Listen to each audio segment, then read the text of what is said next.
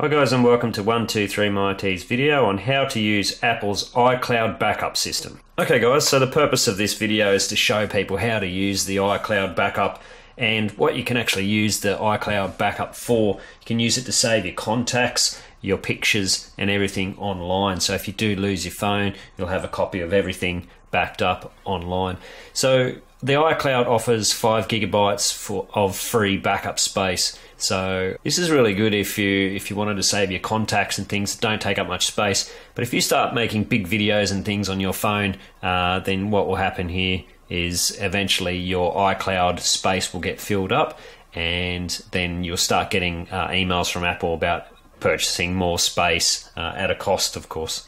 So the other thing I really wanted to show people uh, about the iCloud backup was because when you're setting up or, or, you're transferring data from your phone from iOS, you can transfer it to, as you can see here, move data um, from Android, but you can also use the iCloud backup to transfer data to Android. So I'll do a video on that a bit later. But as you can see, there is also a restore from iCloud backup. So if you did lose your phone and you got a new phone, you can simply go ahead and set up your new phone um, to restore from iCloud backup and also restore from iTunes if you need to.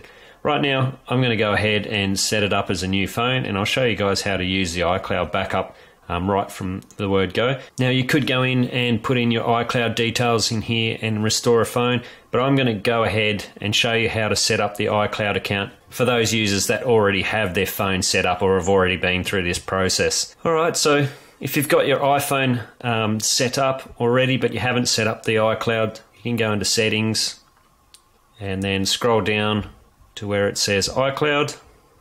And if you see here, we want to go ahead there and we're going to put in our iCloud username and password and then press sign in. Once you're signed into your account there, it will come up with your storage. So you can see we've got five gigabytes available. We've got iCloud Drive is off currently. We've got our photos on. Our mail is currently off. We're going to go through and just turn off a few of these things that I don't want to sync. So anything that you don't think you're going to need or, or use, if you lose your phone, um, then you can just go ahead and turn off everything here. So Safari, uh, turn off notes. So I'm just going to go ahead and turn off everything. I'm going to leave my contacts on there for the time being. Um, I'm going to turn off keep my find my iPhone as well. So I've gone ahead and I've turned off find my iPhone just going to scroll back to the top here and we've got photos. Before I um, log in and show you how we're going to sync our contacts and photos, um, first of all, you need to, I'm just going to show you how this works. So both devices, I've got my laptop here, my Asus laptop, and both devices are plugged into, um, into the wireless or Wi-Fi. And basically, when I save something on my phone, it's automatically going to save it to the iCloud account on the laptop. So I'll show you that right now. And so the next step here is just to, um, if you go to iCloud.com and you can log into uh, the iCloud account there just with the same iCloud account that you have on your mobile phone. So we'll do that right now. So you can see here, once we're logged in, you get a very similar interface here. So there's quite a few different menus here. You've got your settings, find my iPhone. So literally you can control everything from here and the same sort of settings will pop up on your phone.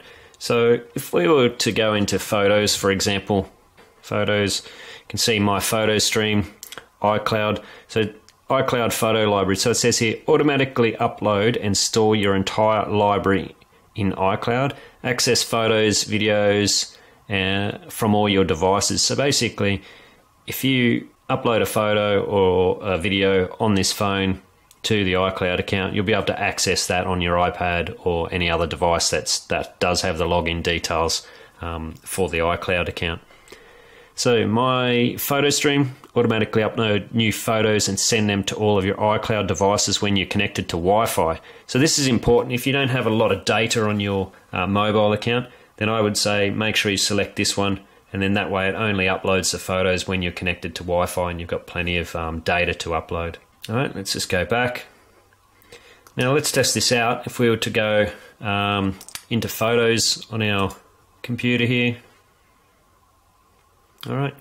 And as you can see there, no photos currently in there. Let's go ahead and we'll take a photo real quick.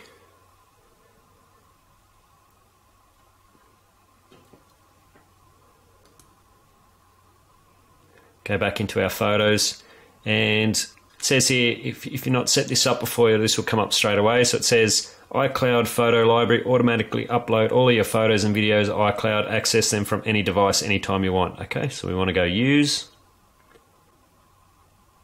And you can see it says one photo updating, one photo to upload, and now it says it's uploading one photo.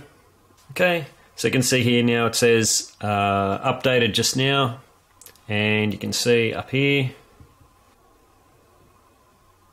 There you go and it's popped up there now with our, our photo that we've just uploaded. Okay, so pretty straightforward. If we go back, oh, actually, if we go in here, we can actually delete that photo.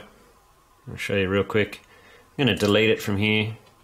It says delete photo from all your devices. This photo will be deleted from your iCloud photo library for all your devices. Okay, so let's just hit delete and let's see if that deletes off our phone here. You can see now it's deleted from our phone. If we go into iCloud, back into iCloud Photos at the top here, and let's go across to contacts. So this is a contact that I created earlier, and if I wanted to edit a contact, so let's just press on edit there. Let's say we want to add it in a phone, one, two, three, and then hit done, and then that should automatically come up on here, and you can see it's added in our number there.